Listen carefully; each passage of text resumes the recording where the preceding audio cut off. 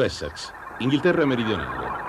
La cittadina di Warminster, al centro del mistico triangolo formato da Glastonbury, Stonehenge e Avebury, a metà degli anni 60 divenne famosa quando nei suoi dintorni si cominciarono a registrare numerosi avvistamenti di UFO.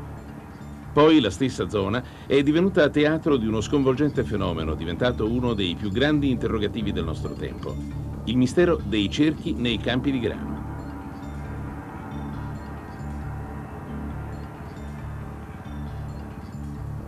Con il trascorrere degli anni i cerchi sono aumentati di numero e in complessità, fin quando nel 1990 ci fu un salto di qualità. Da semplici tracce circolari divennero elaborati pittogrammi, il cui significato rimane ancora un mistero, un mistero che noi ora vorremmo analizzare. La nostra prima tappa è la capitale inglese, Londra, per incontrare John Michel che da molti anni studia il contesto culturale del fenomeno dei cerchi nel grano Michel pubblica da vari anni il trimestrale specialistico The Serialogist perché è affascinato da questo fenomeno.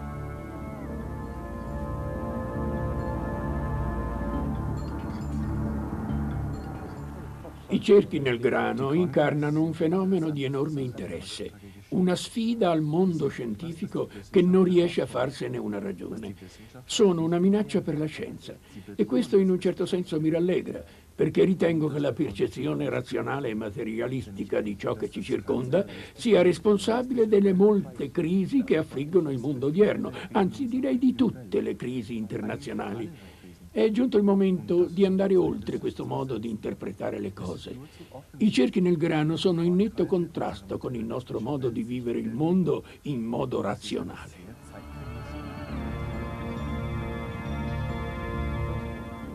I primi cerchi furono notati da ricercatori di UFO durante gli anni 60 e 70 e furono chiamati nidi di UFO.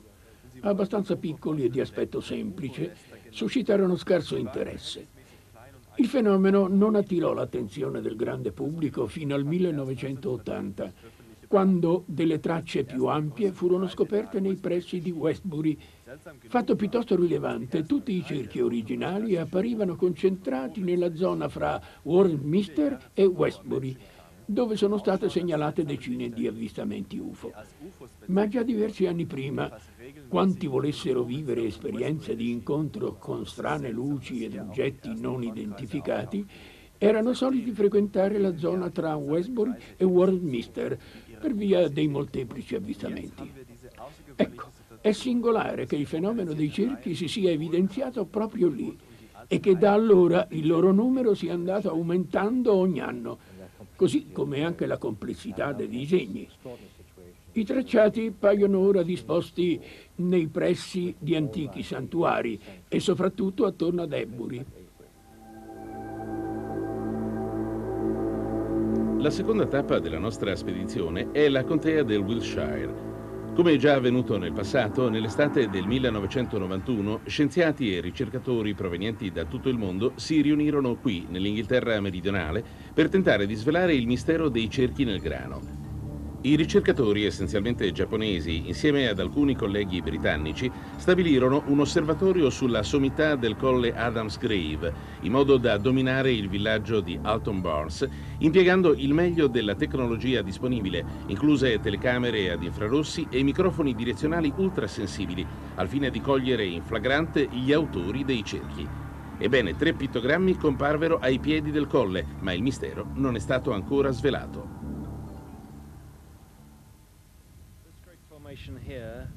Prendiamo questa grande formazione.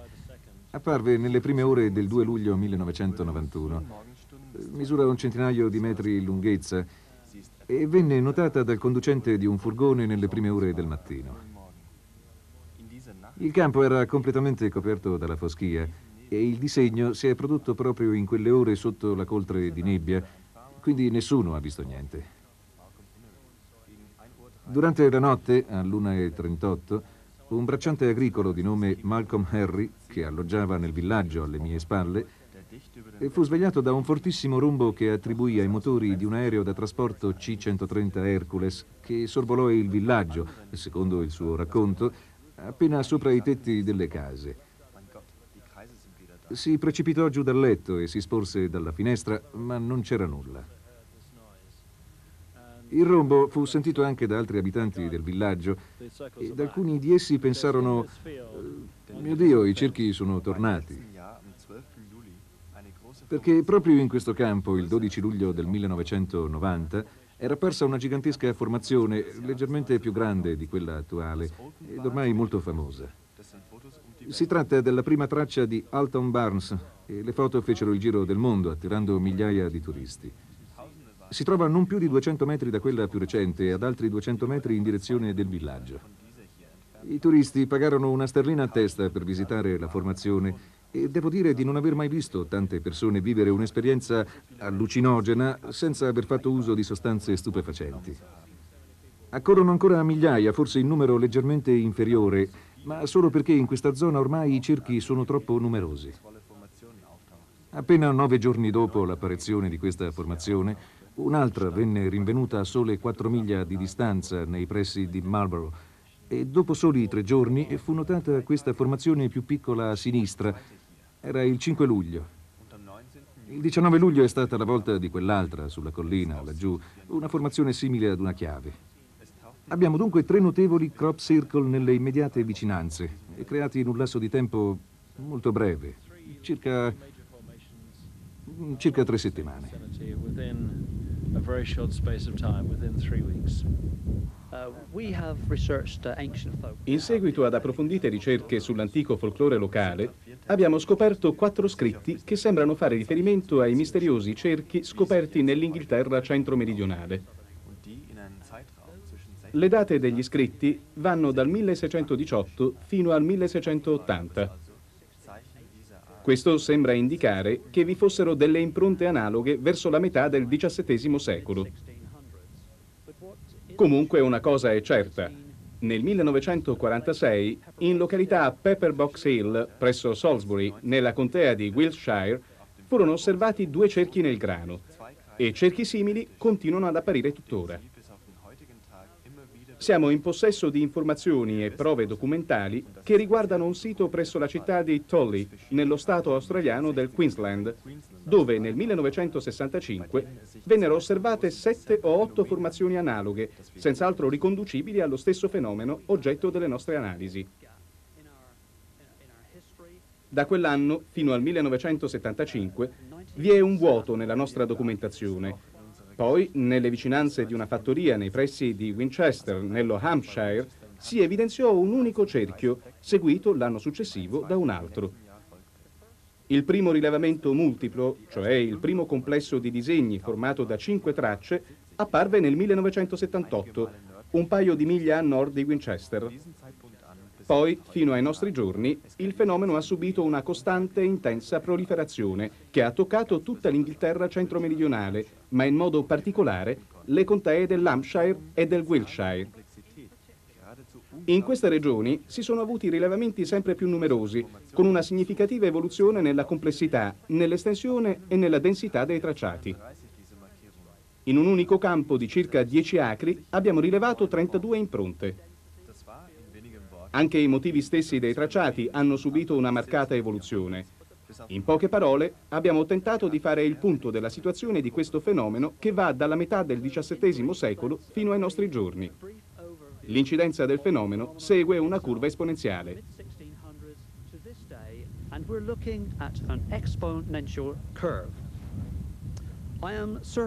Ho lavorato con il dottor Terence Millen per diversi anni nel tentativo di circoscrivere dei dati precisi rispetto all'ipotesi del vortice di plasma, vale a dire ad un fenomeno di carattere meteorologico, per verificare se la tesi fosse o meno fondata.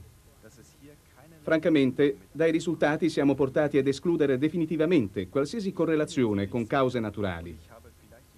Sono certo, sulla base della nostra vastissima banca dati, che ci troviamo al cospetto di un fenomeno intelligente in qualche forma o maniera. Non ho la benché minima idea sulla provenienza di questa fonte intelligente o su quale sia il suo scopo, ma i nostri dati suggeriscono l'esistenza di qualcosa consapevole della propria esistenza, del luogo in cui si trova e delle sue azioni. that we are looking at something which knows what it is, where it is, and what it's doing. L'ingegnere Pat Delgado, amico e coautore di Andrews, ha lavorato per la NASA e l'aviazione britannica nella costruzione di razzi. Cominciò ad interessarsi al fenomeno dei cerchi nel 1981 dopo l'apparizione di tre cerchi nel Punch Bowl, un anfiteatro naturale poco distante da Winchester, l'antica capitale sassone.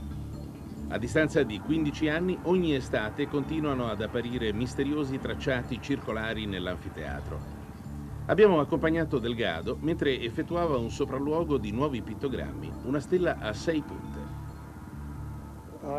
Si tratta di un cerchio estremamente significativo. Possiede tutte le caratteristiche di un vero crop circle. Ho riscontrato dettagli interessanti dove le spighe sono state abbattute, al centro del tracciato e nell'orientamento delle punte o petali. E visto dall'alto il pittogramma sembra proprio un fiore con sei petali tracciati all'interno di un anello, anzi due anelli in questo caso. È molto interessante. Ho notato alcuni dettagli che combaciano con quelli di un altro tracciato, manifestatosi solo la settimana scorsa dall'altra parte della collina. Entrambi sono cerchi veri. Questo più recente è stato trovato solo ieri notte. Sembra che la metodologia della loro creazione somigli molto a quella che ho descritto nel nostro libro, ossia come siano stati prodotti da una pennellata di energia che impartisce un ordine particolare a ciascuna spiga. Lì la pennellata sembra sia stata fatta con un fascio di energia largo appena 20 centimetri, ma senza riempire i contorni. Prendiamo ad esempio questo petalo. Immagini una pennellata qui, poi un'altra in quel verso, per poi riempire questo spazio, proprio come si dipingesse su un foglio di carta. Da quella parte sembra che abbiano iniziato con una riga singola, per poi decidere di non completare il petalo in quella posizione. Avrebbero potuto farlo, ma non lo hanno fatto.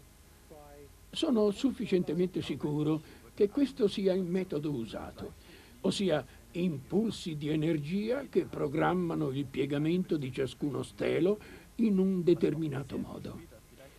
In una seconda fase, forse persino dopo alcune settimane, il meccanismo viene avviato o innescato e le spighe vengono piegate nel modo prefissato, quando non c'è nessuno nei dintorni e quasi sempre di notte.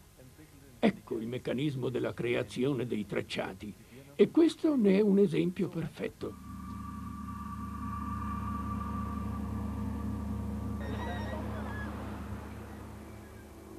Lo stesso atteggiamento di grande stupore e di notevole perplessità regna comprensibilmente fra gli agricoltori sui cui campi sono apparsi i cerchi.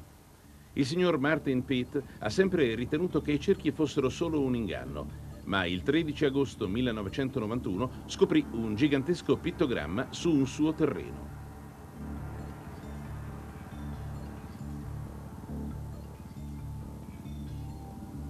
Il cerchio ed il resto del tracciato in questo campo sono stati notati ieri mattina ed io ne sono stato immediatamente avvertito alle 7.30. Sono certo che in precedenza non vi fosse niente, perché ero passato qui la sera prima. Ho cercato attentamente una qualsiasi traccia di presenze umane, ma non ho trovato nulla. Orme, tracce di trattori, auto parcheggiate nei dintorni, niente. Comunque, se qualcuno fosse entrato in questo campo la sera precedente, si sarebbero viste delle luci per illuminare i rilievi molto complessi necessari alla realizzazione del tracciato. Durante la mia ispezione ho trovato l'intera zona perfettamente piatta, liscia, come se le spighe fossero state addirittura spazzolate in posizione. All'esterno del perimetro del disegno le spighe erano tutte in posizione verticale, intatte, mentre all'interno del disegno le altre erano perfettamente adagiate, tutte disposte nello stesso verso. Proprio al centro della traccia ho notato un ciuffo di spighe poco danneggiato e disposto come una spirale, con lo stesso andamento delle spighe appiattite. Aveva l'aspetto di un grande cavatappi, con le braccia della spirale che si allargavano sempre più. Devo far nuovamente notare che il tutto era perfettamente liscio, come un tavolo da biliardo. Ogni singola spiga spazzolata ed adagiata esattamente nella posizione che le spettava. Attorno ho trovato anche complessi tracciati che partivano dal disegno centrale, tutti perfettamente rettilinei. Questa linea alle mie spalle è una retta assolutamente perfetta. Noterete anche che le distanze fra i vari elementi del tracciato, i satelliti, sono identici. Questo cerchio centrale con la sua spirale centrale è esattamente della misura voluta. Non ho la più pallida idea di come il disegno sia stato prodotto. Non avevo mai trovato un cerchio sulle mie proprietà e sinceramente pensavo si trattasse semplicemente di qualche inganno. Invece sono certo che non può essere in alcun modo collegato con l'uso di fertilizzanti chimici. Il tracciato non segue affatto i binari, ossia i sentieri seguiti dai trattori per spargere i fertilizzanti e le sostanze chimiche, e vi assicuro che nessuna nostra attività agricola può aver causato questa formazione.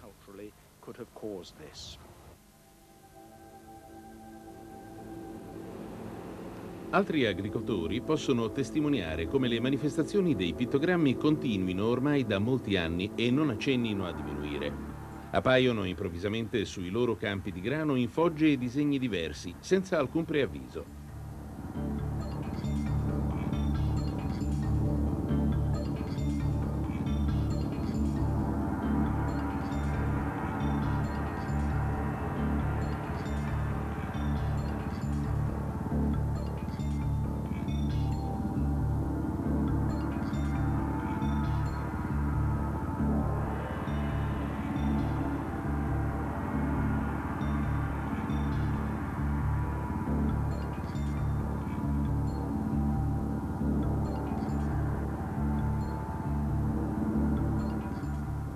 Il rilevamento aereo è il più indicato per studiare questo fenomeno. Noi ci siamo serviti di un elicottero. Nel settembre 1991 la stampa internazionale scrisse che il mistero dei cerchi era stato risolto. Due anziani pensionati, Doug e Dave, avevano ammesso che durante i precedenti 13 anni avevano prodotto con le loro mani una grande quantità di cerchi, ingannando sia il pubblico che gli scienziati. Ma si hanno ottime ragioni per non credere alla loro dichiarazione. Infatti, tutti gli elementi disponibili indicano che il fenomeno non è affatto una contraffazione e che la sua matrice, pur permanendo non identificata, si cela in una dimensione dalla quale, indisturbata, può rivelarsi attraverso un linguaggio altamente evoluto, simbolico ed ancestrale, che alcuni vogliono interpretare sottintendendone persino una forza spirituale che si esplica nei messaggi racchiusi nei cerchi.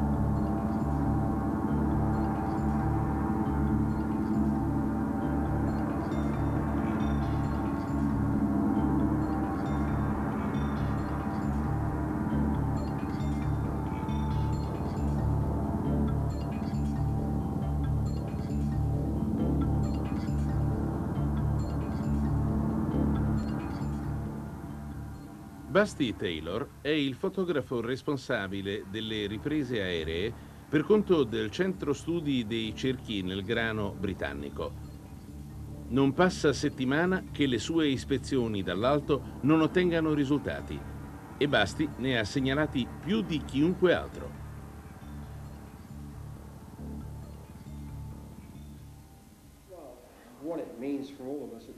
Allo stato attuale non siamo in grado di dare una spiegazione. Può esserci un'infinità di cause, come gli UFO, perché no? Non è un'ipotesi da escludere. Un'altra ipotesi è che potrebbe trattarsi di messaggi scritti nei campi di grano. È possibile. Una percentuale potrebbe essere stata realizzata dall'uomo. Direi che circa il 2% è frutto di manipolazioni. Per quanto concerne i messaggi, malgrado le ricerche siano sempre più approfondite, restano incomprensibili. Io ho iniziato ad interessarmene il 3 agosto 1985, quando scoprì a Clapford, nei pressi di Andover, quello che chiamo il 5 celtico, ossia la formazione con un cerchio principale e con quattro satelliti minori disposti attorno. Da quel giorno fui come folgorato dalla mia scoperta. Ho iniziato a studiare a fondo il fenomeno e non ho ancora smesso. Quali sono le cause a mio parere? Non ho cambiato opinione dal 1985 Ossia, il fenomeno comporta due componenti, una aerea ed una terrestre. Abbiamo quindi due fattori. Oggi non siamo in grado di determinare il funzionamento del fenomeno. Sappiamo che abbiamo un'energia terrestre che noi chiamiamo mina, associata ad una componente energetica aerea riscontrata nella stessa zona, anche se non direttamente sulla verticale del tracciato. Le due componenti agiscono insieme e siamo in grado di dimostrarlo poiché abbiamo rilevato alcune tracce perfettamente centrate sui cosiddetti binari, ossia i sentieri usati dai trattori per spargere i concimi. Intorno al cerchio non ci sono segni di accesso in superficie e questo indica la presenza di una componente aerea. Inoltre c'è un flusso di energia di superficie che risulta facilmente rintracciabile dopo la mietitura nella restante parte del campo.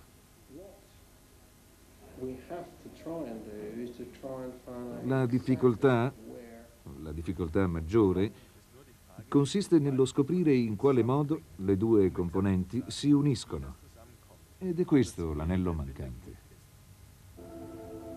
L'evento più eclatante dell'estate del 1991 fu la scoperta di questa traccia triangolare composta da un cerchio del diametro di circa un centinaio di metri, se ne accorsero alcuni piloti la mattina del 17 luglio ai piedi di Berbury Castle, una collina fortificata che risale all'era del ferro. La stampa immediatamente la battezzò enfaticamente la madre di tutte le formazioni. John White è il proprietario del terreno su cui apparve questo famoso pittogramma.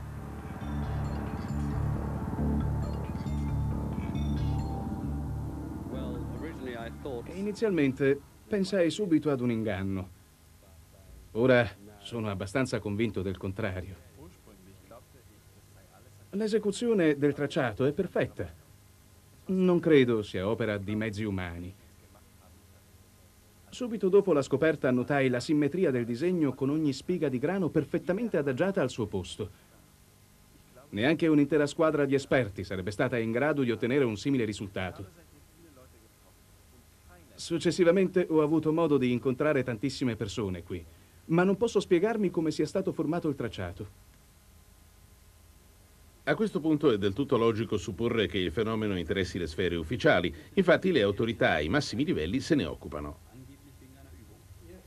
Abbiamo avuto contatti con il Parlamento e con la Camera dei Lord. Non è il caso di fare nomi.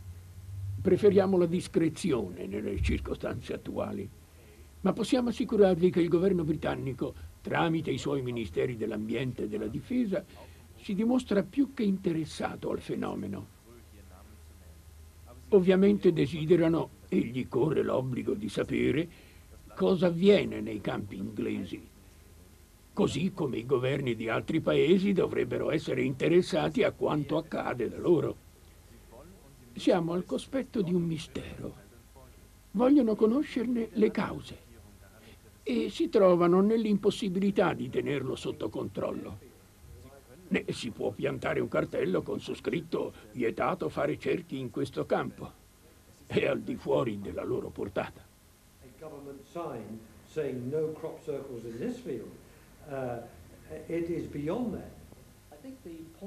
Non si è fatto caso ad un particolare importante. Il governo britannico, nel rispondere alle interpellanze parlamentari e nello scrivere a noi tramite il capo consigliere scientifico del governo, ha dichiarato che i cerchi vengono creati da trombe d'aria stazionarie, ossia da un fenomeno meteorologico. Quasi tutti, la maggioranza delle persone, e non alludo solo al pubblico, ma anche agli studiosi, ai meteorologi, ad eccezione di un paio di loro, non accettano affatto questa spiegazione. Il punto non è questo. Il dato importante è che anche il governo britannico è giunto alla conclusione che i cerchi sono reali è stata fornita una spiegazione errata ed è stato chiamato in causa l'autore sbagliato. Ciò che non hanno fatto, e che sarebbe stato oltremodo semplice fare, era dichiarare che i cerchi erano tutti dei falsi, ma non l'hanno detto. In sostanza, hanno accettato la loro autenticità e questo è l'essenziale. They have accepted they are real, and that's very important. Il loro atteggiamento iniziale fu di apparente disinteresse. In ogni caso ordinarono ad un reparto militare dotato di avanzate apparecchiature di tenere sotto osservazione l'apparizione delle formazioni nel Wiltshire. Successivamente, a causa della grande affluenza di pubblico nel Wiltshire, le alte sfere cominciarono a preoccuparsi per il dilagare del fenomeno e la crescente curiosità della gente. Poco dopo vennero fuori i cerchi falsi ed il pubblico cominciò a pensare che fossero tutti, per così dire, artificiosi e conseguentemente si registrò un calo di interesse. Sta di fatto che le autorità si sono sempre mostrate attente al problema e per quanto ne so, lo sono ancora. Attention to these things and as far as I'm aware they still are. E la cosa più strana è che il maggiore interesse veniva suscitato proprio dai numerosi falsi cerchi, mentre le formazioni e i pittogrammi autentici generavano minore attenzione. Un altro dato interessante è emerso quando ci rivolgemmo ad alcuni agricoltori per sapere qualcosa sulle tracce nei loro campi. Ci risposero che avevano ricevuto precise istruzioni dalle autorità di completare subito la mietitura, indipendentemente dal grado di maturazione del raccolto. In altre parole, c'è stato un chiaro tentativo di cancellare le formazioni dai campi, prima che stimolassero la curiosità del pubblico. Basti Taylor asserisce che il governo intende insabbiare il fenomeno, servendosi di una astuta politica di disinformazione e di indottrinamento della pubblica opinione.